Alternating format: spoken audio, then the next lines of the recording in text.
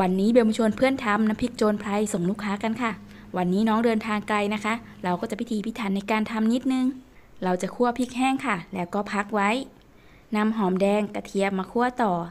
เราจะคั่วให้แห้งหน่อยนะคะ น้ำพริกเราจะได้เก็บนานๆ แล้วก็พักไว้ค่ะนำข่าตะไคร้มาคั่วให้พอแห้ง แล้วก็พักไว้ค่ะ แล้วนำอกไก่นะคะ มาลวนเอาน้ำออกให้ได้มากที่สุดเลยนะ เอาแต่เนื้อนะคะไม่เอาน้ำนะ แล้วก็มาตำพริกกันเลยค่ะ ตามด้วยตะไคร้ค่ะ ตามด้วยหอมแดงกระเทียมที่เราคั่วไว้แล้วตำให้ละเอียดค่ะ แล้วก็ตามด้วยอกไก่ที่ล้วนไว้แล้วตำให้เข้ากัน ไปผัดกันเลย น้ำมันสองช้อนโต๊ะ ตามด้วยอกไก่ที่เราตำไว้กับพริกค่ะ เอาลงไปผัดให้เข้ากัน เราจะปรุงรสเลยนะคะ น้ำมะขามเปียก 3 ช้อนโต๊ะ น้ำปลา 3 ช้อนโต๊ะ ผงชูรสครึ่งช้อนชา น้ำตาล 1 ช้อนชา เกลือ 1 ช้อนชา